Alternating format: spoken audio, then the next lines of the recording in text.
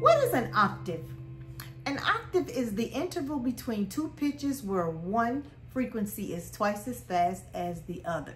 In layman's terms, that simply says the higher and the lower version of the same note.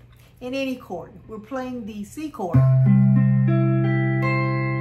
We've got octave with the C on your E string, when we have also another C on your D string.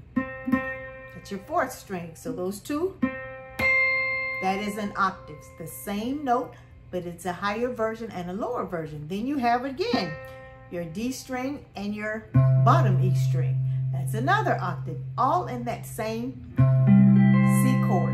Okay, then you've got your five, which is your G, and on your B string, and your G on your A string. Okay, that's another octave. The two together here, same note, just different. One is higher and one is lower, right?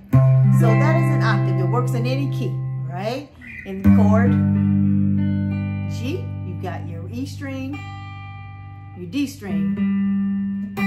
Two together, it's an octave. You got your D string and your bottom E string, another octave. Same notes, same, uh, all in the key. Then you got your five on your B string and on your A string. That is an octave, the same note, different frequency, a higher and a lower version. My favorite octaves as I close. It's my favorite octave. All right, have a great day. I hope this helps you.